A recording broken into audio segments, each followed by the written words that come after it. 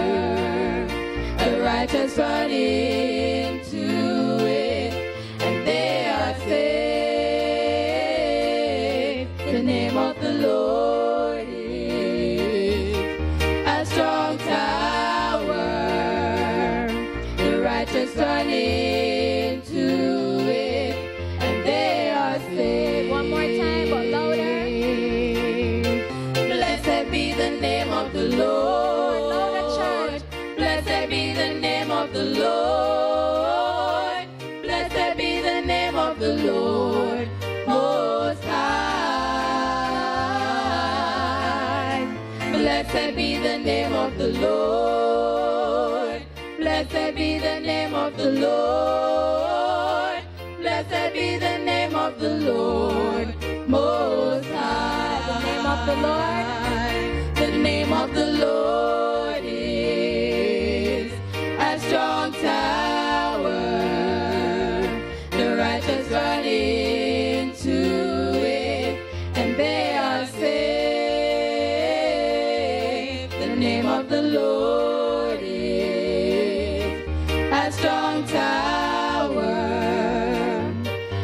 life is running.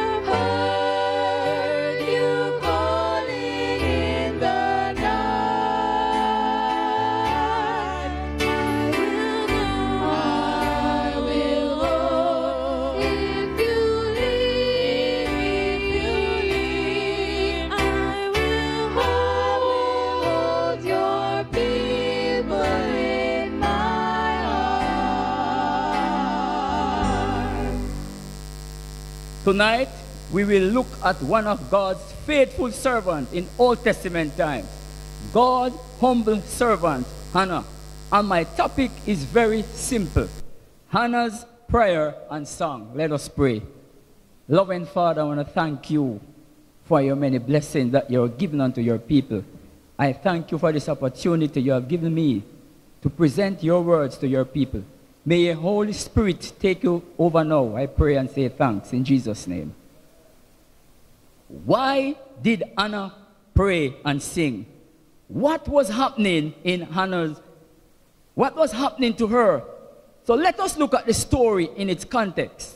And this story is found in the book of 1st and 2nd Samuel. There was a serious problem happening in Anna's family. Hannah husband, Elkanah, had two wives, Anna and Peninnah. Hannah had no children, but Peninnah had children. Not only did she have children, but she had all of ten boys. And we know how families were looked upon in those days for having male children. So here we see the situation Hannah find herself in. As, as a child of God, it was not looking good for her.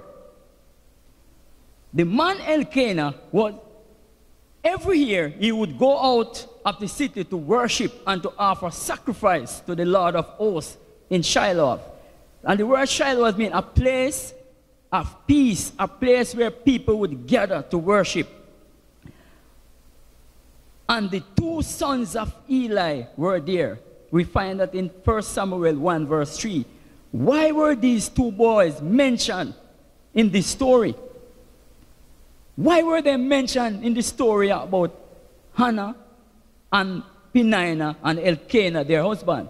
He had nothing to do with this family, so why were they mentioned? Let's look at it. The Bible says that Elkanah goes into God's house to offer sacrifice un, unto God. And going into God's house, Eli, two sons, they were there. And you know the story quite well about Eli, two sons. They were troublemakers in God's house. They give a lot of trouble. And here we find that when Hannah go into God's house with his family, the Bible says that while they were there, the two boys, in this story started to give. I, and I believe that because of the trouble that, was, that we're making, Peninnah was the mastermind behind it. But I have no doubt that Hannah's, that Eli's two sons were part of this plot to set, set Peninnah against Hannah.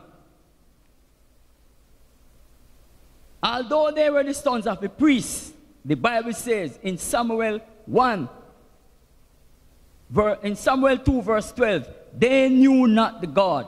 They knew nothing about God. They were sons of Baal. And listen, as I said earlier, they were sons of the priests of the temple of God. And the Bible says in Samuel 2, verse 12, they knew nothing about God. They had no intention to do the work of God. They were there in the temple to give trouble. And if you read, this, read the story, they give a lot of trouble in God's house the sons of the priests. And it is sad to say that when you come into the house of God and you are having problems, the house of God is a place where you'd want to go to be comforted. The house of God is a place where you'd want to, to go for somebody to talk to, somebody to console you.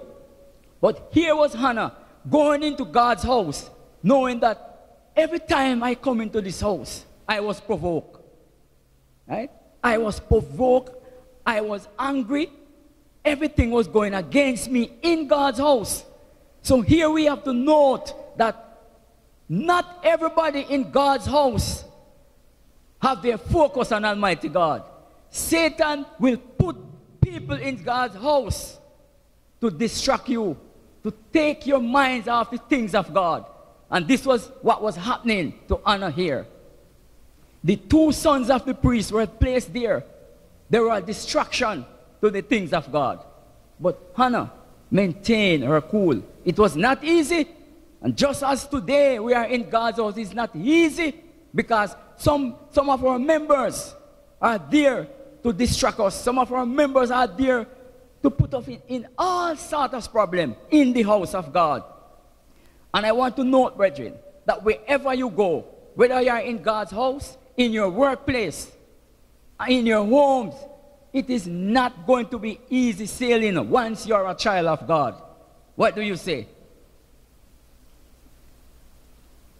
No, the Bible says that in Samuel, 1 Samuel 4, 1 verse 4, he said that when Elkanah offered, he gave to Peninnah his wife and to all her sons and daughters portions, but to Hannah he gave a worthy portion for he loved Hannah, but the Lord had shut up her womb.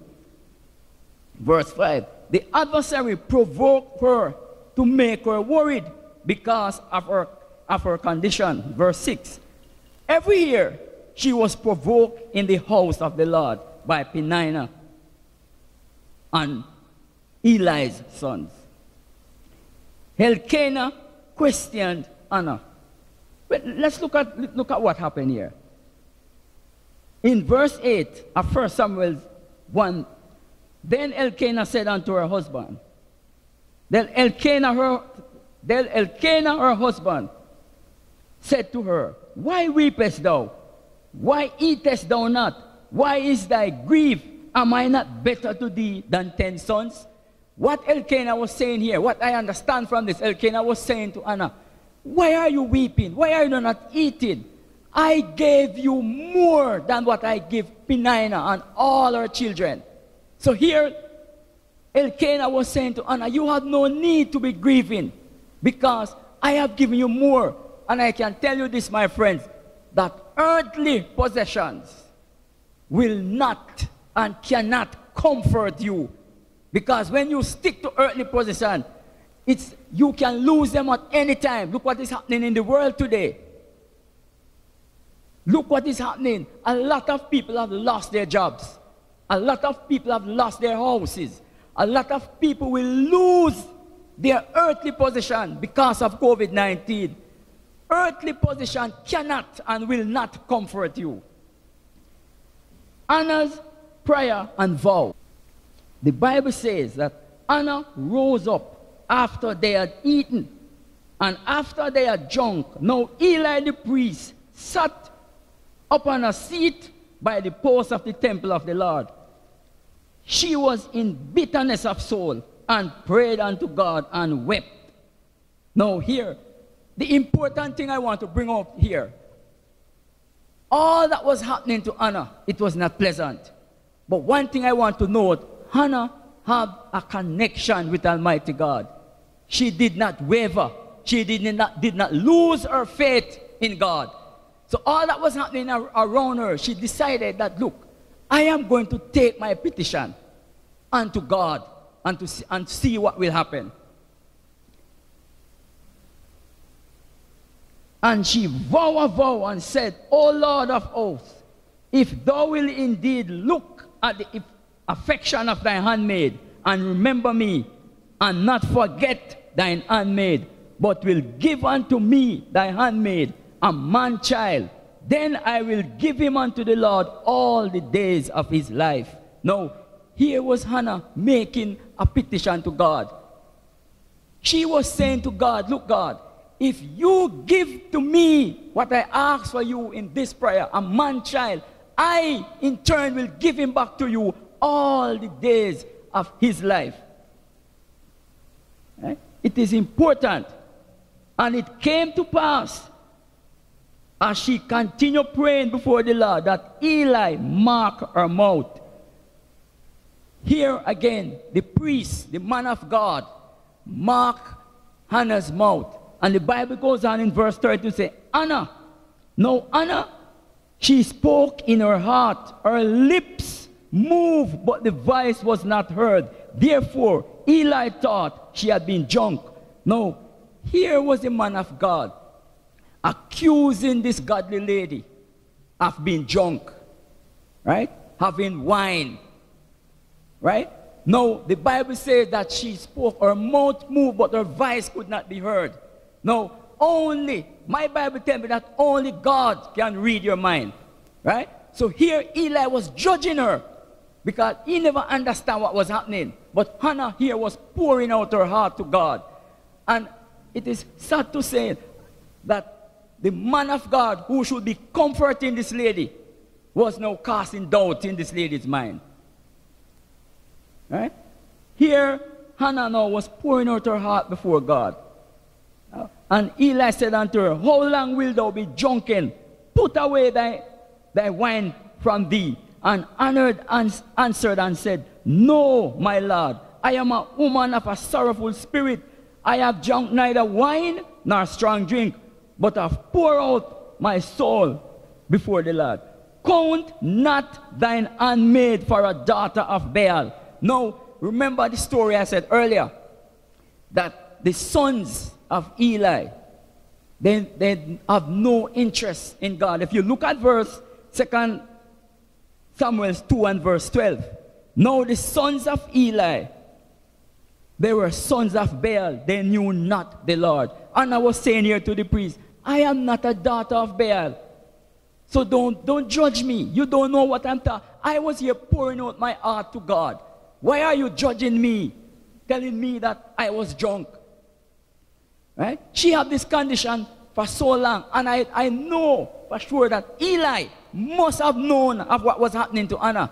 Did, she, did he do anything about it? No, here, when the lady decided to talk to God, he want to interrupt. He want to judge her now. Count not thine handmaid as a daughter of Baal, for out of the abundance of my complaint and grief I have spoken either. No, she was saying, out of the abundance of my heart, I ask God for a gift. And I believe that God is going to come true for me. So don't cast any doubts upon me. My God, who I trust, my God, who I believe in, will come true for me. Then Eli answered and said, Go in peace, and the God of Is- may the God of Israel grant thee thy petition and as thou asked of him. And she said, Let thine handmaid find grace in thy sight. So the woman went her way and did eat, and her countenance was more was no more sad. Here now, after praying to Almighty God, remember the story that she was sad all along, but after praying to God and having no doubt because she know the connection she have with God, knowing no doubt that God is going to come true for her. The Bible says she now can eat. Her countenance was no more sad. She was pleased with herself, knowing that God has answered her prayer. It was a, a, a mark of faith. The Bible says in, in verse 19, and they rose up early in the morning and worshiped before the Lord and returned and came to their house. And Elkanah knew his wife, Hannah, and the Lord remember her. So here is it now. Hannah prayed to God, and God kept his side now of the bargain. I remember what Hannah prayed for, and I am going to grant her this request. Right? The Bible says that God remember. It is important to note that when we ask God for something, and God, God always keep his side of the bargain. It is important that we keep our side. That we will keep our side of the bargain unto God.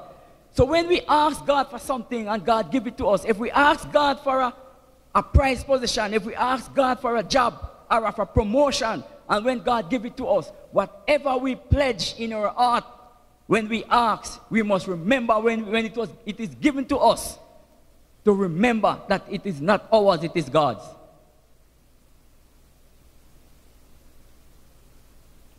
Wherefore it came to pass when the time come for come about after Hannah had conceived and bear the son and call his name Samuel, saying, Because I have asked of him. And the word the Samuel name of a meaning. She asks of God, and God, she God deliver. It's a Samuel comes straight from Almighty God. And the man Elkanah and all his household went up to offer to the Lord yearly sacrifice. This is very interesting. But Anna went up not. For she said unto her husband, I will not go until the child is weaned. Because she remembered the promise that she made to God that I am not going back to the temple unless I am going to take the child. Because when I took this, take this child to the temple, I will not take him back. I am going to leave him there because I made a promise to God that I am going to leave this child into God's house to serve in the house of the Lord. The Bible says in verse 24, and when she had weaned him, she took him with her. And she took bullocks to offer sacrifice unto God. And said, and, and she slew the bullock and brought the child to Eli and said, O my Lord, as thy soul liveth, my Lord, I am the woman that stood by thee praying unto the Lord. For this child I pray, and the Lord had given me my petition, which I asked him. Now, Eli was getting the full understanding of the prayer. Remember, I said earlier that she, start, she was accusing Anna. No, Anna revealed what she was praying to, to Eli. I was praying and asking God for this child, and God deliver. God has come true for me. I am going to stand up to my responsibility. I'm going to stand up to my promise that I made to God. I am going to give this child to the Lord. Therefore, as I have said, have I lent him to the Lord as long as he liveth, he shall, he shall be lent to God and he worship the Lord there. So Hannah said, I make a promise.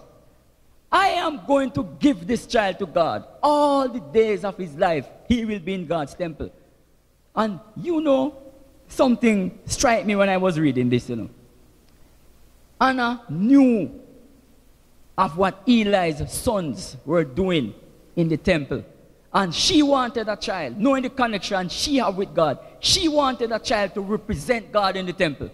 She wanted somebody with moral strength, somebody with an upright spirit, somebody who will stand up for righteousness to represent God in the temple. That's why she, she prayed for this child. And she was so happy to, to give this child to the priest to serve in the house of God. Now, here is the, the, the, uh, the topic of my story the second prayer. And I will look at Hannah's prayer and song. Hannah prayed and sing Anna prayed and said, My heart is rejoiced in the Lord. My horn is exalted in the Lord. My mouth is enlarged over my enemies because I rejoice in thy salvation. Here now, remember when I, what I said earlier about what was happening to Anna? All her enemies, they, they, they tried to mock her.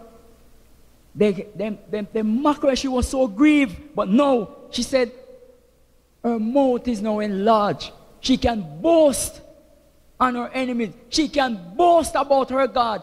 We cannot boast about God if we, if we don't have a connection with Him. So Hannah knew the connection he had with God. He knew what God has done for her. She knew what God has done for her. So she now can boast about the goodness of God. When God has done something good for us, we need to go and let the world know what God has done for us. We need to boast and to show off about our God. There is none holy as the Lord, for there is none beside thee, neither is there any rock like unto our God. So here Hannah was saying, Look, man, there is none like our God. Our God, and he was speaking now in the temple, and he was speaking to all those who were in the temple that this God that we serve is, is our God. We need to honor our God. We need to exalt our God. He is our God. We need to big him up so Hannah was saying, No, there is none like unto our God. My God is the rock of our rocks. My God is the solid, true foundation of this world. No matter what is happening in this world, God is the rock of ages. No matter what is happening, no matter how much of us we put our trust in God, if we put our trust in Almighty God, we know that God will deliver us. We are in a crisis. The world is in a crisis. And if we put our trust on our houses, on our position, on our cars, on our jobs, they will fail us. Many of us are going to lose our jobs. Many of us are going to lose our prize position. But one thing I can tell you, we can rest assured if we put our trust in Almighty God, He will never, ever fail us. We can trust in Almighty God. The Bible says that I believe that Hannah, after going through this prayer, was singing this song, On Christ, the solid rock I stand. All other ground is sinking, son. All around her was sinking, but she know that when she put our faith, our faith and trust in Almighty God, the rock of rocks will stand up for her. God will never fail his people as long as we put our trust and our hope in him. Thank you very much. Loving Father, I want to thank you for your words. I thank you for the God you are. I thank you, O oh God, that you have placed in our hearts your word so that we can depend upon your words and knowing that if we trust in you, that you will deliver us out of all that is happening around us. Help us, oh God, to understand who you are, knowing that you are in control of everything that is happening. Continue to be with us, continue to bless us, and continue to help us to trust in you. We pray and say thanks in Jesus' name.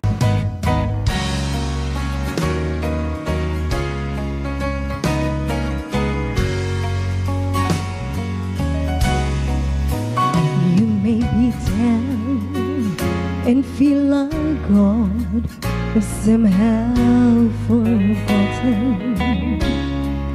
That you are faced with circumstances you can't get through. Right now it seems there's no way out.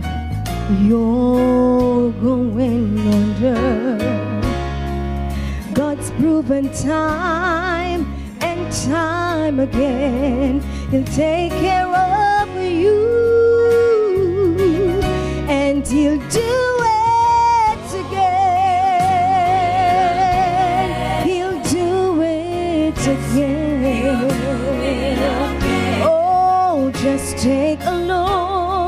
at where you are now and where you've been And hasn't he always come through for you. He's the same now as then.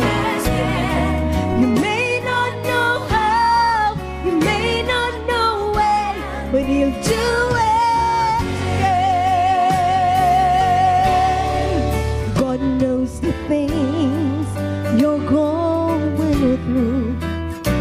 how you are hurting. You see, He knows just how your heart has been broken into. He's the God of the sun, the stars, the sea. He is your Father.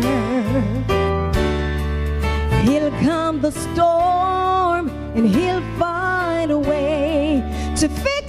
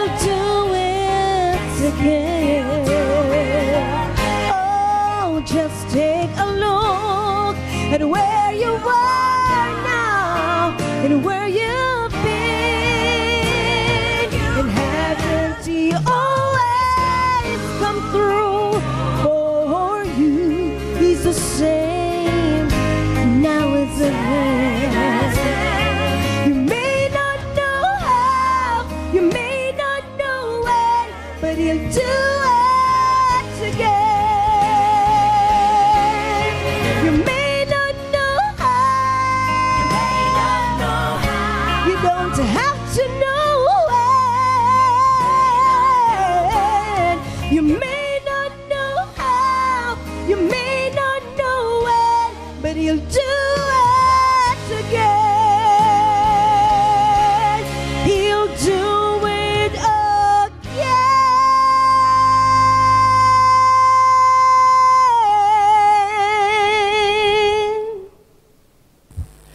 My friends. Since we have started uploading our presentations here at the Seventh day Adventist Church Kings, West Jamaica Conference, Mount Salem, St. James, we have had a lot of individuals who have been contacting us. People who used to be members of the church and want to renew their commitment. If you are outside of the reach of our territory, you can find the nearest Seventh day Adventist church to you. If you're a backslider and you want to return, if you have been convicted and convinced and want further Bible studies, you can notice on the screen you will see the specs being ran. You can um, contact me um, at my name, Charles Brevitt at yahoo.com. That's Charles Brevitt at yahoo.com as one word. Or you can call us at 298, that's 876 876 298 0000. We will put you in touch with our Bible instructor or elder, or I myself will reach out to you. You can leave a message on our Facebook page. That also will be accessed and we will respond to you in short order. If you want to support what we're doing, remembering now that our church is out of uh, commission, we're just reaching out uh, through this medium. If you want to contribute to what we're doing here to keep the lights on, you can also contact us through the medium that is running on the screen, and we will communicate to you how best this can be done. For our members who want to contribute to the, uh, the care packages that we're doing, please contact us. You know how. And if you are not a member and you want to contact us to contribute to the less fortunate so that they can have food on their table, just follow the instructions on the, the, um, the screen and you will be able to contact us. We would do well with your support. Uh, pray for us, continue to lift us up and intercede for us, that the Lord will help us, that even while we preach to others, we ourselves will not be cast away. If you're a member of the West Jamaica Conference, we need your help. We ask you to contact us if you can help. We are trying to do our best in these times of uh, tight fiscal management, and uh, we look forward to your financial support, to your prayers and intercessions, and to your words of encouragement uploaded to our pages. Thank you very much, and God bless you. Um, and we hope that if we never meet again on this side of heaven, that we will see each other in kingdom come. God bless you. Thank you.